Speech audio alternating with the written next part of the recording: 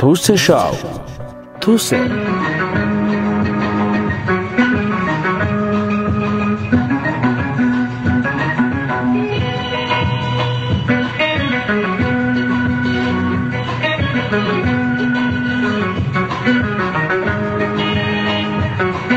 bismillaahi raxmaan raxiim daawadayaal kusoo dhawaada barnaamijkeenii tuse show oo ah kala socotaan horyaal t v wadajir waxaa idinku soo jeediya nacimo cabdi axmed iyo weliba sakariya cabdisaloom maantana daawadayaal waxaan idinku haynaa barnaamijka tuse show qodobo aada iyo aada u xiiso badan sidii caadiga ahayd ee aan nooga barateenba nacimay sakariyo haye qodobadaadii aada u xiiso badan baynu haynaa daawadayaasheenu maalin walba wax cajaa'ibaadka dunideenu uga waranaa maalin walba waxaa jira iyo waxyaabo faa'iido iyo leh wax oo- faa'iido leh wax badan wax caafimaad bilaa ku faa'iidaa yimid. baa halkan lama nimaadnayna waan gartay ya haye maanta waxaan jeclaystay laakiin barnaamijka hees ku furo qodobadu baan u soo horeysan jiray cilmi baarista iyo waddamada. Maanta ii kaadi xaggii waxaan ku odhay fanka.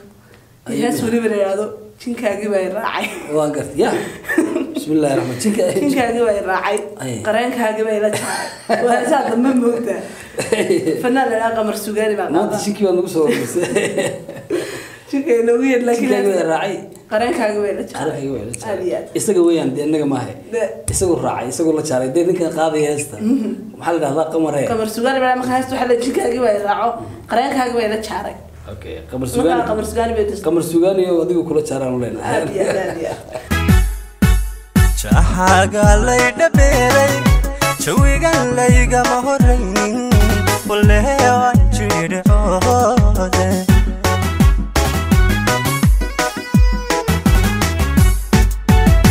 jaxaaga lay dhabeeray jawigan laygama horaynin waleewan jidhcoode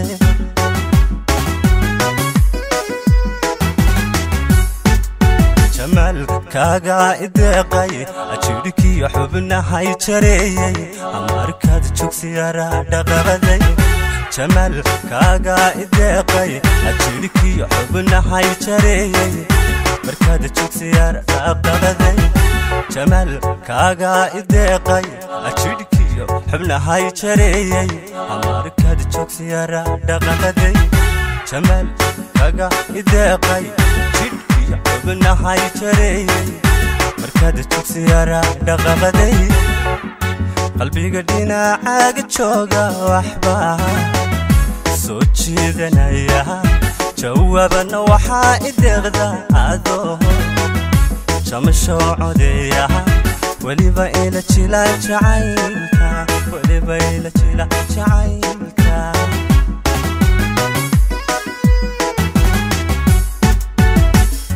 qalbiga dhinacaaga jooga waxbaa soo jeedanaya jawaabana waxaa ideeqda adoo jamasho codeeya weliba ila jila jacaylka weliba ila jila jacaylka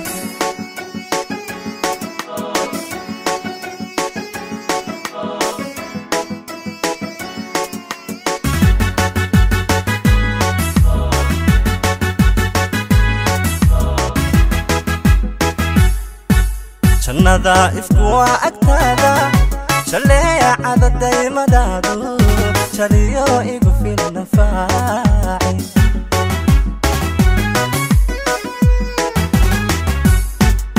jannada ifku waa agtaada jaleecada daymadaadu jaliyo igu filnafaaci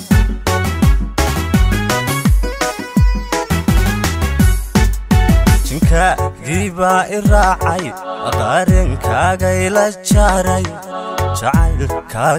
deeqay jinkaagii baa i raacay qaarinkaaga ila jaaray jacaylkaaga i deeqay jinkaagii baa i raacay qaarinkaaga ila jaaray jacaylkaaga i deeqay jinkaagii baa i raacay qaran kaaga ila jaaray jacayl kaaga ideeqay qalbiga dhinacaaga jooga waxbaa soo jiidanaya jawaabana waxaa ideeqda adoo jamasho codeeyaha weliba ila jila jacaylka weliba ila jila jacaylka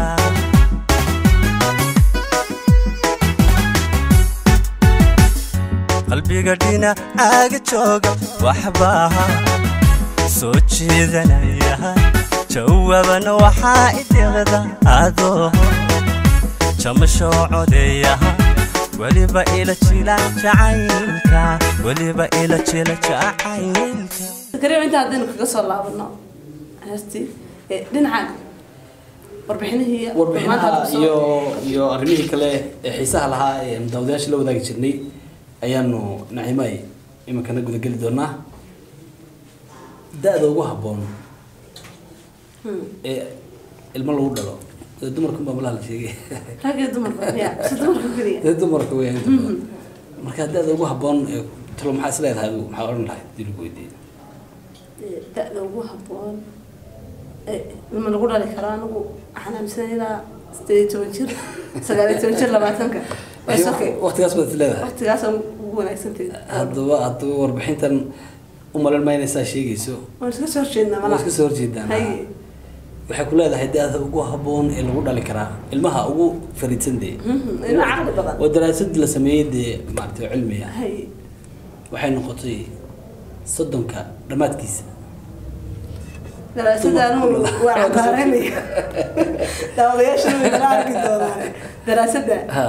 qaar badan dad badan bay nagu kaciyeen naga daystay may waa wax la baadhay weeye jaamacada soo saareen. Soo marka waxaan warbixintan ku maqli doonaa ku ogaan doonaa.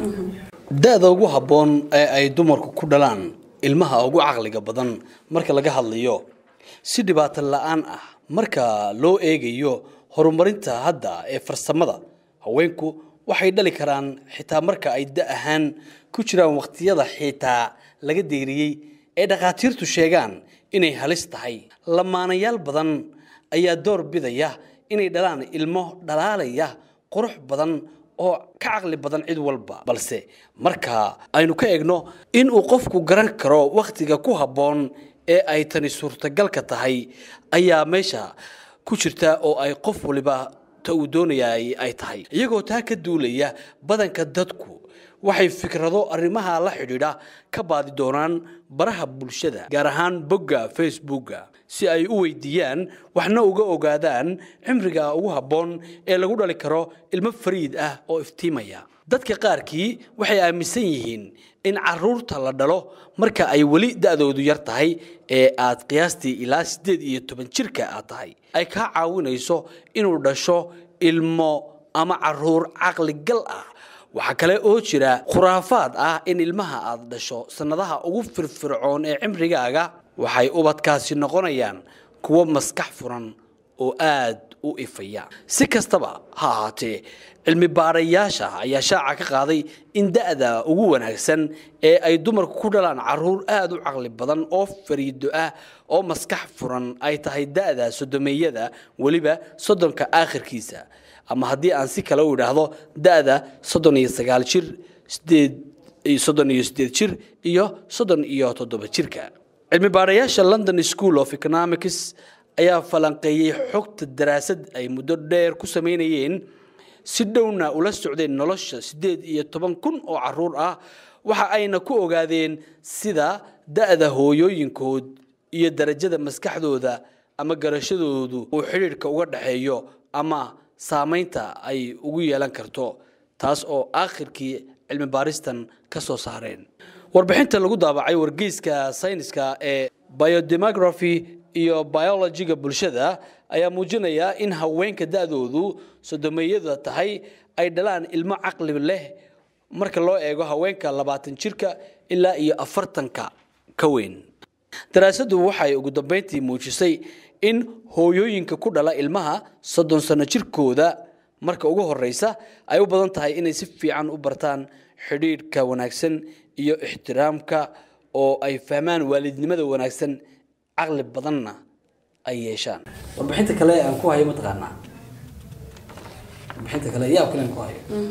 Ninkaagii hore ninkaagii hore ma ka dhigan lahayd saaxiibkaaga ugu fiican warbixintaa odhanaysa warbixintaa odhanaysa hay daawadayaasha ka jawaabi doone taa inagu ma gelin miya arrimaha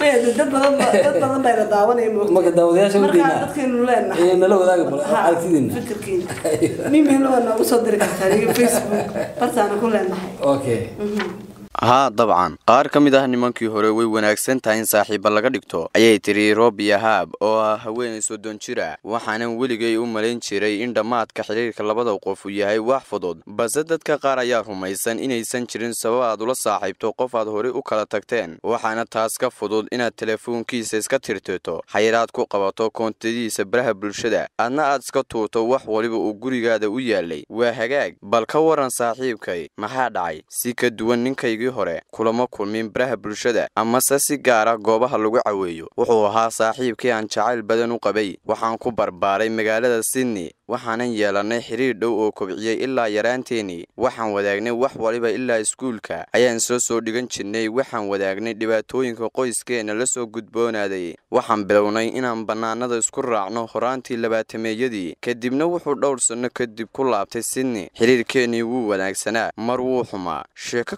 kastoona dhex martana muran ayay ku dhammaanaysay. Way fiicnaan lahayd inaan waxyaabo wanaagsan sheegno balse runta ayaa ah in bilowgiiba xiriirkeennu xumaa. Waxyaabaha aanan aadka uga fikri jirin dhibaatooyinka ka dhalanaya waxaa ka mid ahaa kaftankeenna iyo inuu ku soo daahno cashada bannaanka. Siddeed iyo toban bilood oo xiriirkoonnu u socday. Hal maalin kadib dagaal xun oona dhex maray xaalku uu noo hagaagay. Labadeennaba waan dareennay in xaalku maalintaasi noo hagaagay. Marka sidaas ayaan u malaynayaa ayaan nidhi haa ayuu iigu jawaabay sidaas ayaan u malaynayaa maalmo yar uun kadib wuu baxay dhowr bilood ayaan wada noolayn. Wax digniin ahna iima uusan siinin maalin wuu imanayey maalinna wuu iska maqnaanayey lix bilood wax hadal ah nama dhex marin. Waxa ii fududay inaan naftayda ku qanciyo inuu yahay isagu qof xun. Waan ku qaldamay. Markii igu horaysay si niyaddayda iyo waxa maskaxdayda aan ugu dejiyo waxa ka guuxaya waxa ka guuxaya. Muddo yar kadibna taasi waa ay ii hirgashay. Kadibna waxaan helay fariin hal eray uun ku qoran oo ah kofe waxay ahayd fariintii igu gaabnayd ee aan weligay arko balse micna iima samaynin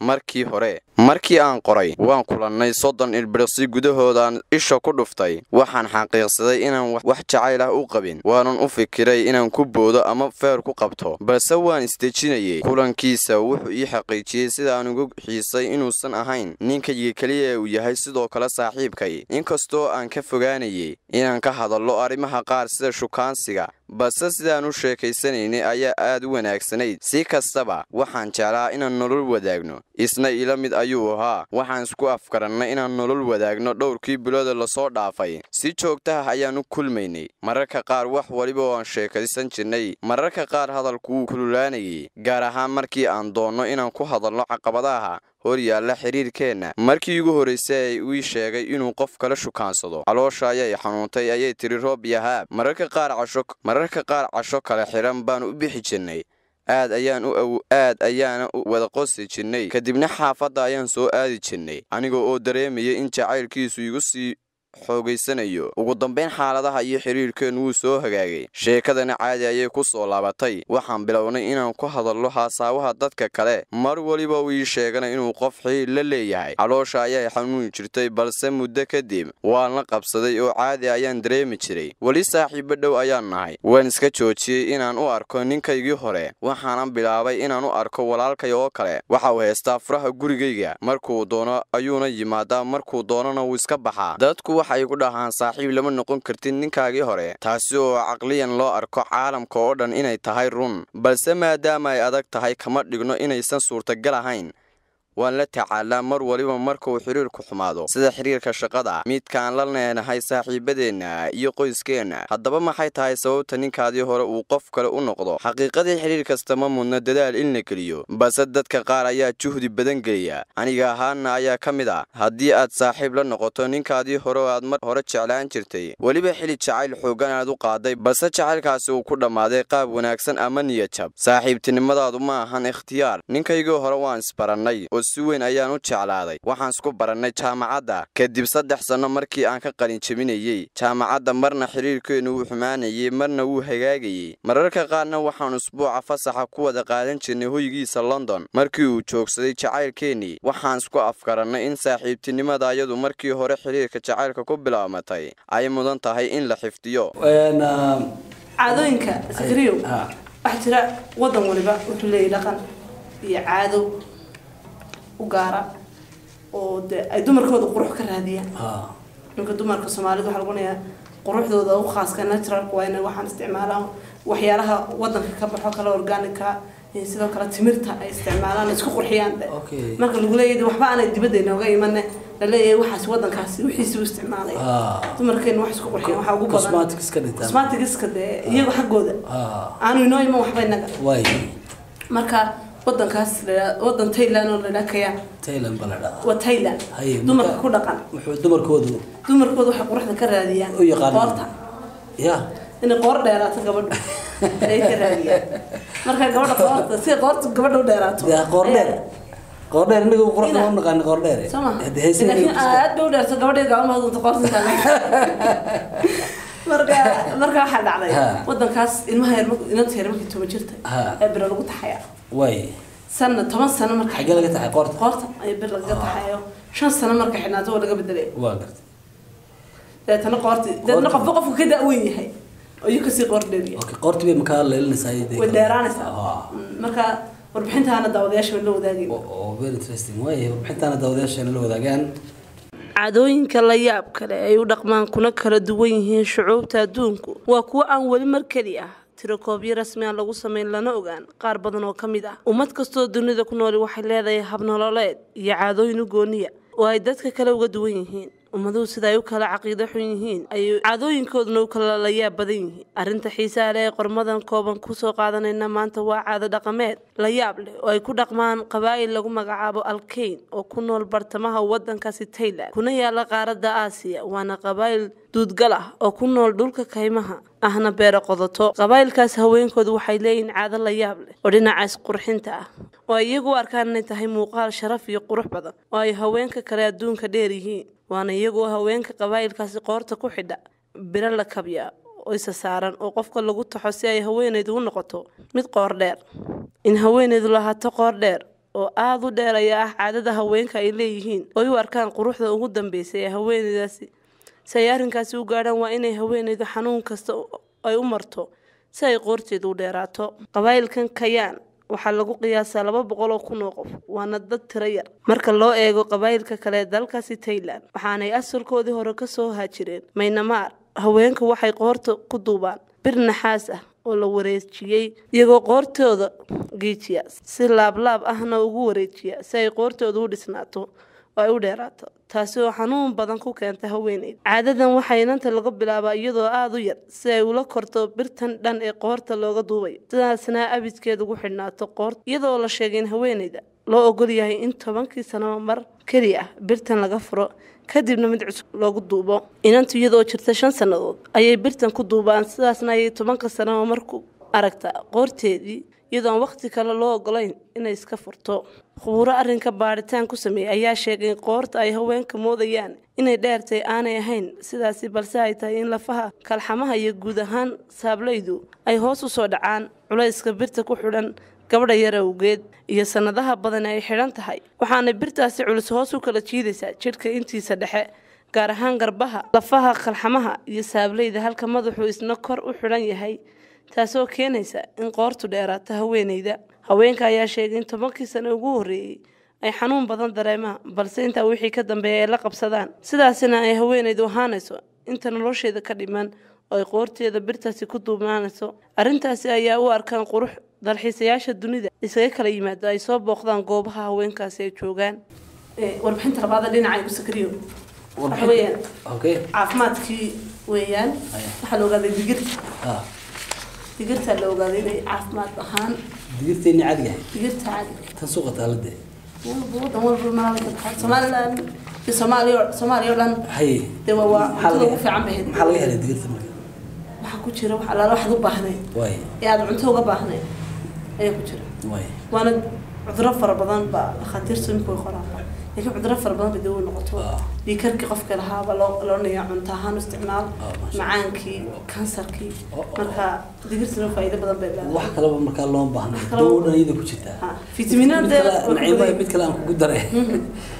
دكتور مع سرد مارتي مقال شكله واحد كلام معاملها ولا بيشكل كورياني مقال ما بتجيب شو فايدة دو هذا هذا daawadayaasha.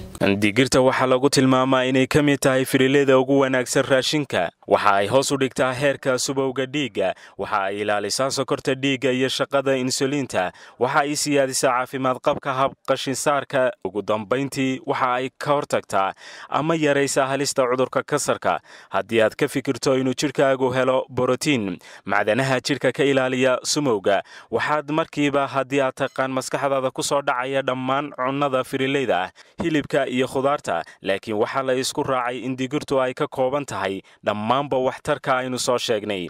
Qiimaynta tijaabooyin la sameeyey ayaa lagu ogaaday inay digirtu kala tacaasho unugyada jidhka in cudurka kansarku ku samaysmo iyada oo unugyadan loo diidayo inay tarmaan. Waxa kale oo ay hoos u dhigtaa koritaanka baraha iyo finanka waaweyn ee maqaarka dibadda uga soo baxa.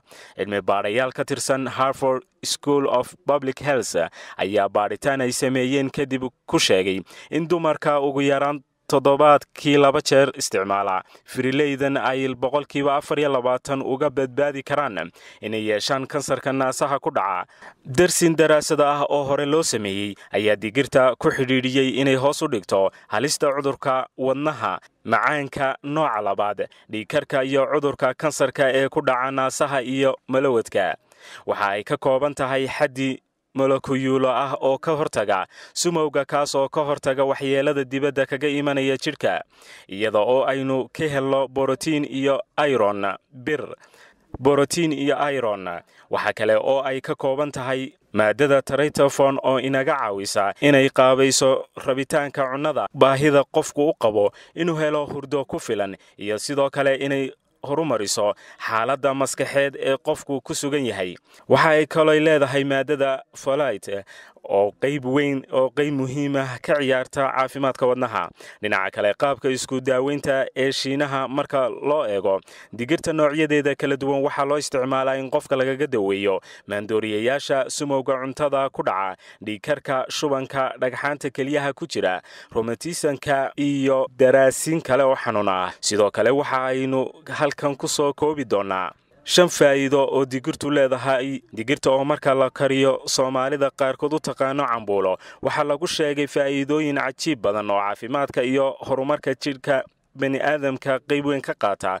Walow ay soomaali badan caado u tahay cunista digirta islamarkaana ay dalaga ay beertaan ugu horayso halka qaar kalena ayba dhankooda cay ka tahay. Haddana waxaa lama huraan ah in bulshadu ogaato loona iftiimiyo faa'iidooyinka qarsoon ee digirtu leedahay. Haddii uu qofku ogaan lahaa u joogtayn lahaa ugu yaraan toddobaadkii saddex jeer. Haddaba warbixintan oo ah daraasad caafimaad islamarkaana aan ka soo xignay wargeyska life strong ayaan isku dayi doonnaa in aan soo koobno. Waxyaabaha ugu muhiimsan uguna faa'iidada badan ee digirtu u leedahay dadka daneeya caafimaadkooda iyo horumarka noloshooda. Kow digirta waxaa ku jira faytaminis iyo mineralis kuwaasoo ah laba shay oo ka mid ah ugniyada jidhku ku shaqeeyo. Waxaa gaar ahaan digirtu qani ku tahay faytamin b kaasoo dhiigga cas iyo hagaajintiisa qayb weyn ku leh. Laba digirtu waxay qani ku tahay fiber kaasoo howlihiisa ay ka mid yihiin isku socodka iyo qaabaynta jidhka cuntada uu qofku cuno. Saddex digirtu waxay qani ku tahay borotiin baruur la'aan ah taasoo la macno ah in aad helayso borotiin kugu filan adigoo jidhkaaga wax baruur ah aysan ku soo kordhin. Afar digirtu waxay sidoo kale buuxin kartaa booska khudaarta. Shan digirtu waxay yaraysaa naaxitaanka haddii aad hilib leedahay oo aad digirta ka dhigato qayb muhiim ah oo raashinkaaga ka mid ah waxaad dareemaysaa hoos u dhac haddii aadan marka hore. Buurnayna waxaad ahaanaysaa qof jidhkiisu borotiin iyo coloris ku filan helo isagoo aysan jidhkiisa ku saa'idin baruurto. Intaa haddaynu daawadayaal kaga soo noqonno warbixintaa ka hadlaysay digirta iyo faa'iidadeeda ee aanu ku soo qaadanay caafimaadka iyo sida ay digirtu ugu fiican tahay daraasada ku saabsanayd nacima maxaa inoo xiga waa qaybtii majaajirada waxaa inoo hayaa dhalinyaro imika joogto gobolkaa togdheero ruwaayadaha madasha. Ah. oo aada u qosol badan aada iyo aad. Marka waa waa ruwaayad waxay leedahay waa nin gabadh telefoon ka soo garaacsa dibadda joogta. Oo ay leedahay gabadhaadi ma gabadh baad leedahay waxaad gurigiisa u jiifaa banaanka gurigiisa. Ay leedahay ma gabadh baad leedahay waxaasoo nimay beri hore dhimata Haye. gabadhba malihi asalaamu calaykum maxay ku xujisay? Gabar baa leedahay. May waa isu barteen oo ahaa markaasuu leeyahay. May walaal gabadha maliyaa kalaan iska joogaayo. Meel kalaan iska hordaa Hey. dabeetana markay sidaa isku bartaan meelsa saddex boqol oo doolar baan kuusoo diray ninka waa ka khalkhalay oo beri hore dhimatay. Ama bamin maayo ama bamin maayo baranaya Hey. beri hore dhimatay. Hey. markaa dee qolooyinka la iibsaday imika malaha عيال سيف يا عمو الخضر من اللي يا هذه يد يوقص المقدم هذا سياد برقيلي داضيش داضيش اللو ذا قال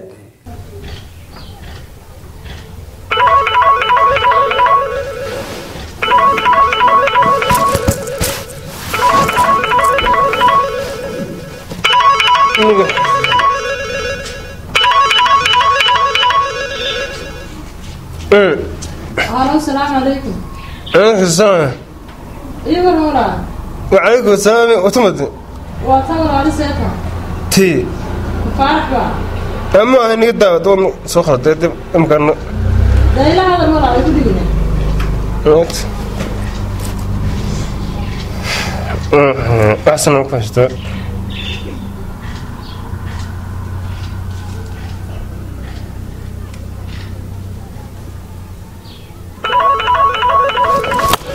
يا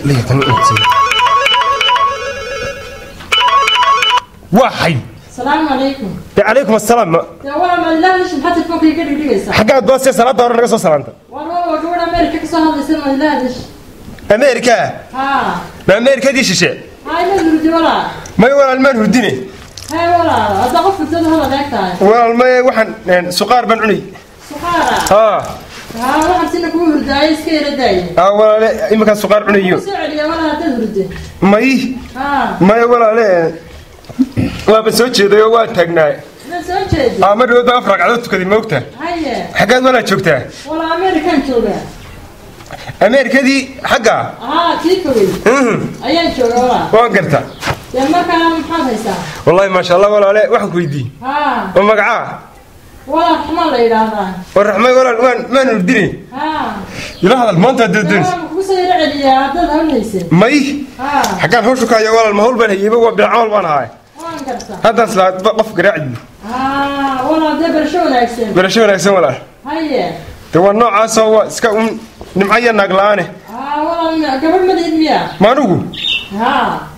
gabadh walaal mid qara weynaad moodid buurtii uxud baanu isqabi jirno gabadhiina waxaa ceel bay ku dhacda haye alla bisinka.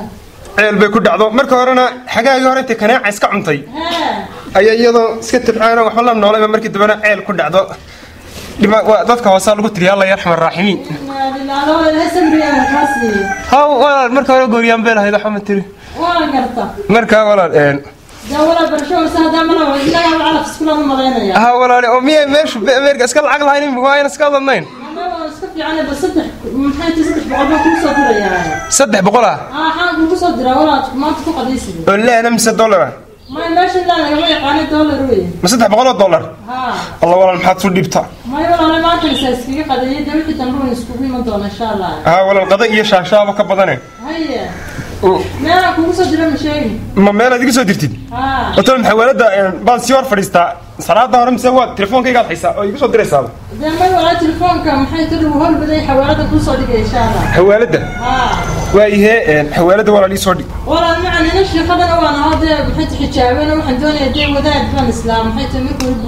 ma shiikad baa taa? Maya aniga malcaamad baa iga kacday walaal. Laba malcaamadood baa iga kacay dee walaal insha allah dib u samaysatid macaamada bare ayo imkaas dib u furatee lacag aan ku furtaan waaye walaal malcaamadii laba malcaamadood baa iga kacanba wadaad banay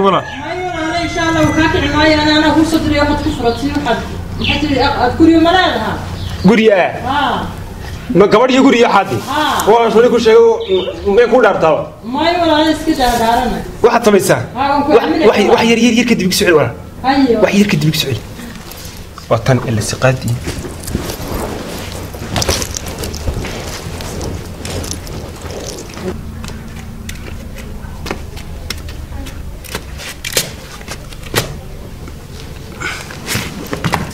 haya iwar alxamdulilah waaba hurdaabaygayma weydo khayr wamiyana saaka shaqaba jirme maya saaka salaadii horena kacayo guryaha iyo wixii waa ka shaqeeyey. Ee waan soo dhameeyey hawsha waa xilli dambe walaal ma weelka naga soo xashid weelkii oo dhan baan soo xalaya weelka madax xasha haa. Wallah daaradihii madax soo masaxdi dabad daaradii waan soo masaxay weelkii waan soo xalay canjeeladii waan soo dubay.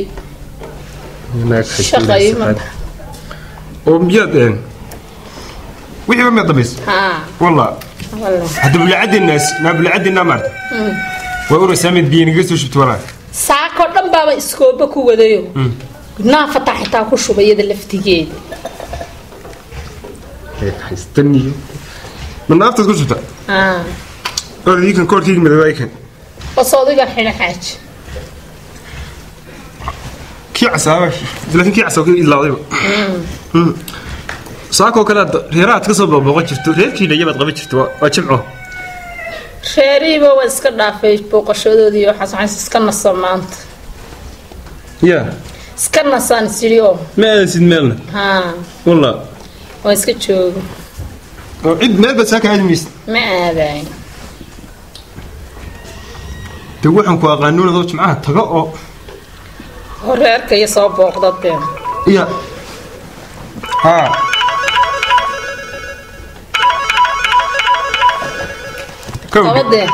telefoonka haddaan aan qabanaya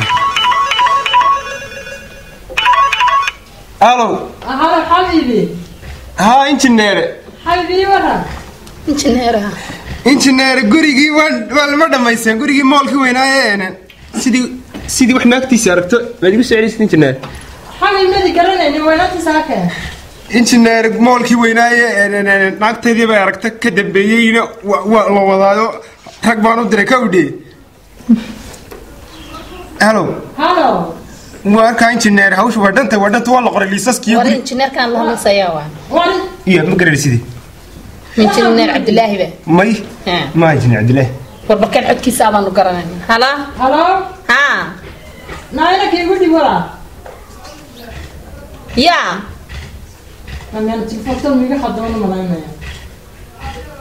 war waxay naagto ya.